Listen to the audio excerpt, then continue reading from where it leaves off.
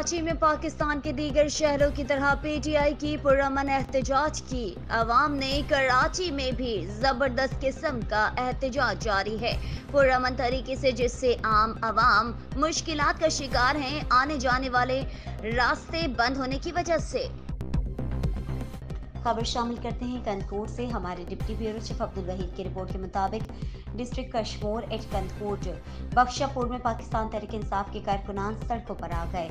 एहतजाज पे पेश कारकुनान रहनुमाओं ने इंसाफ हाउस से प्रेस क्लब तक एहतजाजी मुजाहरा करके रैली निकाली। जीडीए अपने अहतमाद को खो चुका है। आने वाला वक्त भी पाकिस्तान तहरीक इंसाफ का होगा। आने वाले वक्त में पाकिस्तान तहरीक इंसाफ सिंध को भी क्लीन स्वीप कर देगा। इमरान खान पाकिस्तान के 22 करोड़ अवाम के दिलों की धड़कन बन चुका है। पाकिस्तान तहरीक इंसाफ के कारकुनान का रैली को खिताब। एहतजाजी मुजाहरे की क्यादत मीर मोहम्मद हनीफ खान डोम की, शाह अली खान डोम की, शाबान जकरानी आगा बासित अली मुराद गोलाठी और दीगर ने किया। खबर शामिल करते हैं, लाहौर से हमारे ब्यूरो चीफ मोहम्मद अहमद की रिपोर्ट के मुताबिक लाहौर फैक्ट्री एरिया 50 मुकदमात में रिकॉर्ड याफ्ता डाकू अपने ही साथी की फायरिंग से जख्मी हालत में गिरफ़्तार। फैक्ट्री एरिया पुलिस ने गाजी रोड पर मोटरसाइकिल सवार दो मशकूक अफराद को रुकने का इशारा किया। मशकूक अफराद की फरार की कोशिश ताकुब करने पर मुसलह मुलजिमान ने पुलिस पर बिला इम्तियाज़ फायरिंग की। अपने ही साथी की फायरिंग से एक डाकू जख्मी, जिसको हिरासत में ले लिया गया है। गिरफ़्तार जख्मी डाकू की शनाख्त जाहिद शरीफ नाम से हुई है। पचास मुकदमात में रिकॉर्ड याफ्ता निकला है। गिरफ़्तार डाकू का रिकॉर्ड याफ्ता साथ ही हमजा पैदल फरार है, जिसकी तलाश जारी है। जख्मी डाकू बरा इलाज हॉस्पिटल मुंतकिल असला मोटरसाइकिल तहवील में ले ली गई है।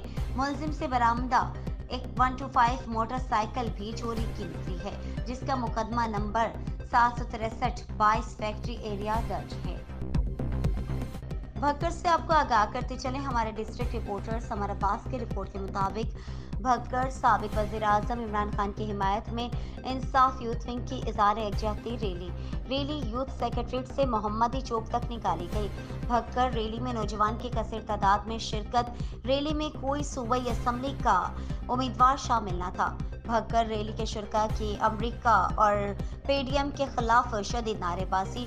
मोटरसाइकिल रैली ने शहर के मुख्तलिफ़ इलाकों का भी चक्कर लगाया। तहरीक इंसाफ की अक्सरियत को कुचला गया। मुकर्रीन भगकर रैली में सिक्योरिटी के भी सख्त इंतज़ाम थे। सूबाई वज़ीर कानून राजा बशारत गुफ्तु आज आवाम की बड़ी तादाद सड़कों पर निकल आई है। वो फैसला सुना रही है कि जिस तरह वज़ीर आज़म को हटाया गया, वो दुरुस्त नहीं। हम इम्पोर्टेड हुकूमत को किसी सूरत कबूल नहीं करेंगे। अब कौम बेदार हो चुकी है।